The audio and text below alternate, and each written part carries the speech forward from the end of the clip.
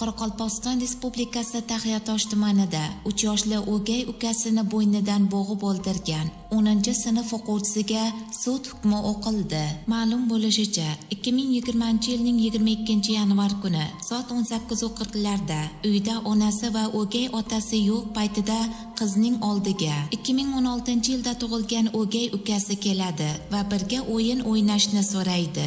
Ko'pdan buyon alamini ichiga yutib yurgan o'smir qiz o'gay ukani avval qo'llari bilan uradi.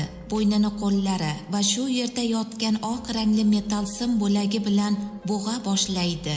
Sim qo'lida turmaganligi sababli bo'ynidan ayollar ro'moli bilan bo'g'adi. Uch yoshdagi bolakay bu harakatlarga faol qarshilik ko'rsata olmasdi va u hushini yo'qotib challajon bo'lib qoladi. Qiz ukasining o'lganiga ishonch hosil qilish maqsadida uning nafas olish yo'llariga havo keltirmaslik uchun yuzini o'n besh minutgacha yostiq bilan bosib turib o'ta shafqatsizlik bilan qasddan o'ldiradi. Avvaliga qiz ukasining o'limi qanday sodir bo'lganini yashirgan. Faqatgina sud tibbiy ekspertizasi orqali keltirilgan dalillardan keyingina qiz aybini tan olgan. Voyaga yetmagan qizga o'zbekiston respublikasi jinoyat kodeksining sakson beshinchi moddasi ikkinchi qismi v bandiga asosan 6 yil muddatga ozodlikdan mahrum qilish jazosi tayinlandi.